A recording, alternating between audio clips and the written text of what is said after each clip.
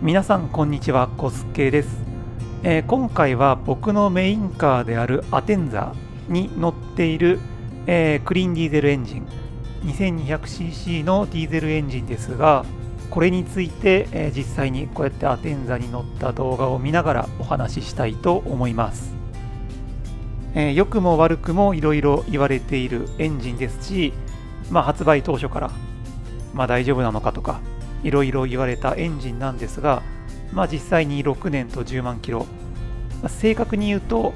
5年と10ヶ月と、えー9万5000キロなんですが、えー乗ってみてどうなのかというお話をしたいなと思います、えー長期間長距離乗ることで分かることもたくさんあるのかなと、えーそんな気がしますので今回はそれについてお話ししようと思います。えーまずは僕の乗っている車からなんですが、2012年12月に納車されたアテンザセダン FF モデルですね。そもそもこのアテンザが発売されたのが2012年の11月20日なので、ほぼ発売当時か、まあ、若干2週間ぐらい遅れて手に入れています。ネットなんかでこう動画を見たり雑誌で写真を見たりしてまあ、かなり気に入ってしまって、まあ、買って1年ぐらいの車があったんですがそれを手放して、えー予約注文したという感じですね、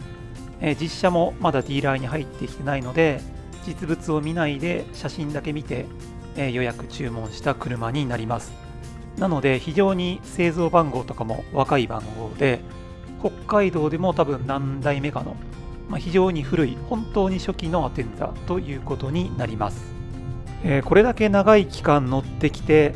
実は不具合らしい不具合は全くなくて、まあ、ゼロと言っていい状態ですね、えー一応リコールなんかもあったんですが僕の車に関しては、えー特に問題も発生せずに今日まで非常に快調に走ってくれています、えこのエンジンに関しては、まあ、メリットもデメリットもありますし僕の気に入っているところも、まあ、ちょっと改善してほしいなと思うところもあるのでちょっと表にまとめてみました、えこのエンジンのメリットなんですが、まあ、やはり一つ目に言いたいのは燃費がいいということになります、えディーゼルといえばエコという印象があると思いますがやはり非常に燃費がいいですね、えそれとプラス2個目の軽油が安いというのもポイントで燃費が良くて軽油が安いんで燃料費で見るとかなりえ抑えられるというのが非常に大きなメリットの一つかなと思います。で、このディーゼルエンジンは3つ目のメリットなんですが、長距離運転とか高速走行が非常に得意です。えロングドライブとか、あと高速で100キロで巡航するとか、そういう場面で非常に本領を発揮するエンジンで、でまず燃費がいいのは一つ当然として、えーパワーもあるので非常に楽なんですよね。長距離運転も高速走行も、えーそういう状況での追い越しも難なくこなしてくれるエンジンで、えー北海道に非常に向いている車かなとエンジンかなという気がします、えーで次のメリットなんですが寒さや暑さにも強く燃費の悪化や変化がほとんどないという点かなと思います。まあ、例えばエコカーの代表で言うとハイブリッドカーとか電気自動車だと思うんですが基本的に暑さとか寒さに弱いんですね、えー暑くなるとバッテリーがダメになっちゃうし寒くなると、えーバッテリーの能力が引き出されずに燃費も悪化しますしあ走行距離とか、えー充電スピードが劇的に落ちてしまうので、まあ、ハイブリッドは冬になると燃費が悪くなるというのが北海道以外でも普通のことだと思いますが北海道は寒いので、えよりそれを強く感じるんですが、えディーゼルだとそういうデメリットがないと。で、軽自動車なんかは暑くてエアコンをつけると燃費が分かるくらいに悪化してしまうと思うんですが、えディーゼルエンジンの場合、エアコンつけても燃費の悪化がほとんどないんですね。感じられない程度にしかなくて、えその点も暑さにも強いと言えるかなと思います。え年間通してほとんど燃費の変化がないというのがメリットになります。えー次のメリットですが、非常にトルクがあって低回転からパワフルだという点があります。えー、例えば最近多いガソリンターボエンジンなんかも低回転から非常にパワフルだと思うんですが、まあ、それでも2600回転とか3000回転未満ぐらいで、え、最大トルクが出る車が多いと思います、このディーゼルエンジンは2000回転で最大トルクが出るので、ま、本当に低回転から非常にパワフルなエンジンで、正直街乗りでもかなり乗りやすいんですね。え、1000何回転とか、え、1000回転台でもかなりパワフルに車をぐいぐい引っ張っていってくれるのでそこが魅力の一つでもあります、え、最後のメリットですが絶対的なパワーも十分あるという点にあると思います、ディーゼルエンジンというとトルクはあるもののパワー不足にエンジンが回らないのでパワー不足になるとそういう印象を持っている人も多いと思うんですがマツダのこのスカイアクティブディーゼルに関しては非常に高回転までよく回りますしパワーもそこまでついてくるので少なくても一般的な速度で走っている限りパワー不足を感じることは皆無だと言えるかと思います、え、高速の追い越しなんかも余裕でできますのでパワーに関しては何ら不足を感じません。で最初に話してた燃費なんですが、まあ、本当に燃費がいいのかとかどれぐらい燃費がいいのかというのを、えちょっとデータを取ってみたので紹介したいと思います、え我が家にはこのアテンザの他にも軽自動車が1台あります。今は新型の NBOX ですが、え先々月までは4年半ぐらい乗った FF の N ワゴンがありましたなのでこの FF の 2200cc ディーゼルのアテンザと 660cc ノンターボの FF の N ワゴン2台を通勤など我が家で使う使い方での燃費でちょっと計算をしてみたのがこれです。だいたいうちのロングドライブなんかを除いた一般的な使い方。通勤と週末の買い物ですね。えー、その使い方で出る燃費というのが、えー、この4、5年の、えー、経験によると FF ノンターボの N ワゴンが 20km パーリッターぐらい、えー、2200cc の、えー、ディーゼルターボ。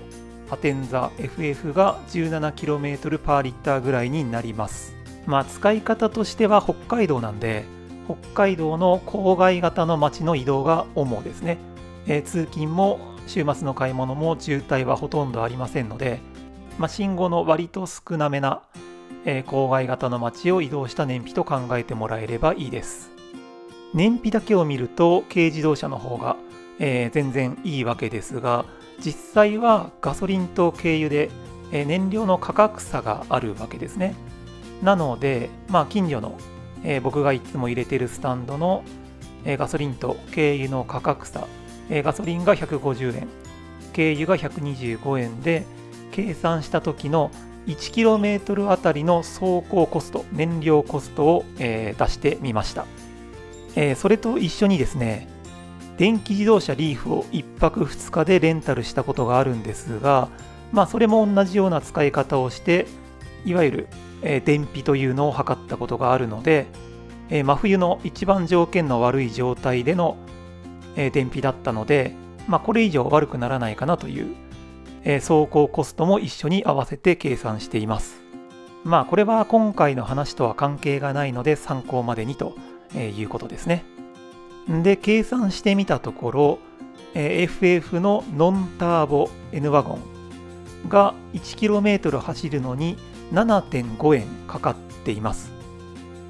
えー、アテンザ 2200cc のクリーンディーゼルターボ FF のアテンザは、えー、軽油が125円ということもあって 1km 走るのに7.35円しかかかってませんつまり燃料費で見ると、えー、FF のノンターボの N ワゴンよりも、えー、2200cc もあるディーゼルターボのアテンザの方が安くなっていると、えー、いうことなんですね。同じ距離を走るとアテンザの方が燃料費は安く済みます。で、しかも街中でこの計算ですから、長距離走行、ロングドライブをしたり、えあとは高速に乗ったりすると、ディーゼルのアテンザの方が明らかに燃費が良くなるんですね。えー、大体どんな状況においても軽自動車を下回ることがほぼないという感じですね。それに今回のこのデータは FF ノンターボの N ワゴンでの計算ですから今乗ってる新型 NBOX なんかは 4WD ターボでこれよりさらに燃費が悪いので、えー、アテンザと比べるとまあはるかにというほどではありませんがアテンザの方が明らかに燃費はいいということになります。つまり軽自動車よりも安い燃料コストでよりパワフルな運転を楽しめるというのがこのクリーンディーゼルの最大の魅力の一つかと思います。ちなみに参考までに書いてる電気自動車リーフの燃料コストですが、まあ、これはその無料充電とかできる場所がたくさんあるんですけどそれを計算に入れないで、えー、冬の冬季割引ありの深夜電力で充電をした場合の、えー、燃料コストになります、えー、計算したところによると2.1円ということで、恐ろしいほど安いですね、電気自動車は。これは僕もさすがにびっくりしました。ちなみにこの計算は真冬の燃費が悪い状態で、えー、計算していますから、夏になると、これよりもっと燃料コストはおそらく安くなって、多分1.5円とか、1km 走るのに1.5円から1.7円ぐらいになると思うんですよね。非常に燃費がいいと、燃料コストが安いのが電気自動車だとえいうことが、1泊レンタルしてみてはっきり分かった結果でした。まあ、とはいえ、電気自動車は寒さに弱かったり、えー、充電時間の問題とか走行距離の問題もありますから、まあ、積極的に僕は電気自動車を買おうとは今のところはなりません。えー、ここまでマツダのディーゼルエンジンのいいところを長々とお話ししてきましたが、最後にデメリットについても少しお話ししようと思います。まずデメリットの1つ目なんですが、まあ、渋滞とか街中はハイブリッド車のようにいい燃費にはなりません、えー、普通のガソリンエンジンと同じように燃費は悪化します。で2つ目のデメリットなんですが短距離走行ばかりを繰り返すとすすが溜まってエンジンの調子が悪くなります。ディーゼルエンジンってススが出るんですね。普通のガソリンエンジンよりも。えー、それをディーゼルパキプレートフィルターというところで、えーえー、溜めて、ススを溜めて排気をしてるんですが、そのススが溜まってくると、一旦そのススを燃やして、えー、なくさないとダメなわけですよね。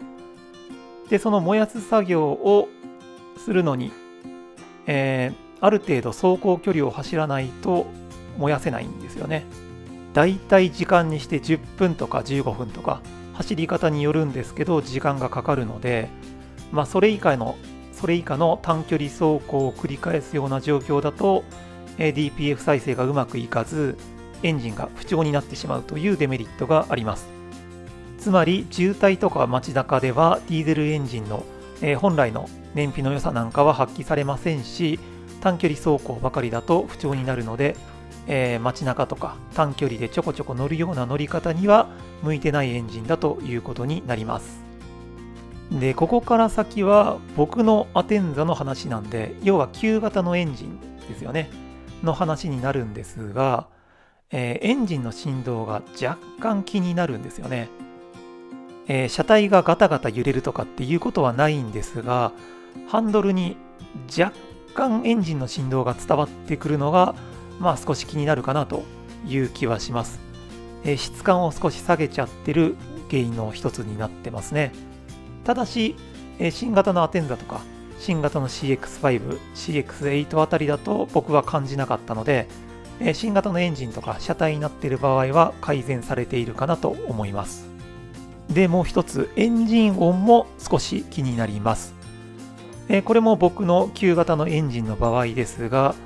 えー、特に、えー、1500回転から3000回転ぐらいの低速ギアの時のエンジン音がちょっと耳障りかなという感じがします。えー、新型のエンジンの新しい車体になってるアテンダ CX5、8なんかは、えー、車音もしっかりしてますし、エンジン音がほとんど気にならなかったので、まあ、これは新しい車を買う場合はあまりデメリットにはならないかもしれません。でもう一つこれも旧型のエンジンの場合なんですけど、まあ、ちょっとじゃじゃ馬というか、えー、これも低速ギアの時1速2速、まあ、3速ぐらいまでのギアプラス、えー、ストップからの発進の時なんかがよく感じるんですが、えー、1500回転から3000回転ぐらいまでの間が、えー、非常にピーキーというか、えー、じゃじゃ馬ちょっとのアクセルの、えー、回度の違いでかなり大きく吹き上がっちゃったりすることがあります。慣れればうまく扱えるんですが、まあ、ちょっと気を抜いていつもよりほんと数ミリアクセルを強く踏んだだけで、え、発進がドーンとドカンと発進しちゃうような、えー、感じがあったりしてまあ正直ちょっと神経を使うかなと。ただこれは慣れちゃえばなんてことはないですし新型のエンジンの場合はこの辺うまく調整されているようでえミッションとの関係も当然あると思うんですよね。なので、まあ、その辺は新型は改善されているので心配しなくていいかなと、まあ、これは旧型の、えー、アテンザと CX5 を買うときは、えー、発進加速に若干こうじゃじゃ馬というかコントロールしづらい部分があると思います。これもデメリットの一つですね。1500cc のディーゼルエンジンに関しては、まあちょっといろいろ問題も発生していますが、2200cc のディーゼルエンジンに関してデメリットがあるとすれば、えー、これぐらいかなというのが、えー、6年約10万キロ乗ってきた僕の感想です。えー、以上、マツダのアテンザディーゼルターボ 2200cc をえー、大体6年10万キロ乗って感じたメリットとデメリットについてでした。